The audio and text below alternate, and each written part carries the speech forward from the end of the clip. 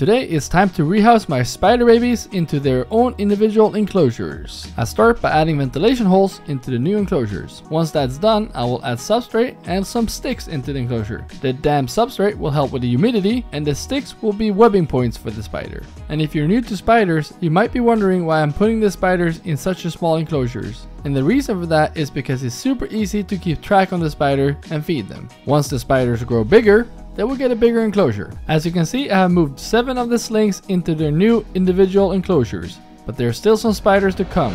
So make sure to follow so you don't miss that rehousing video.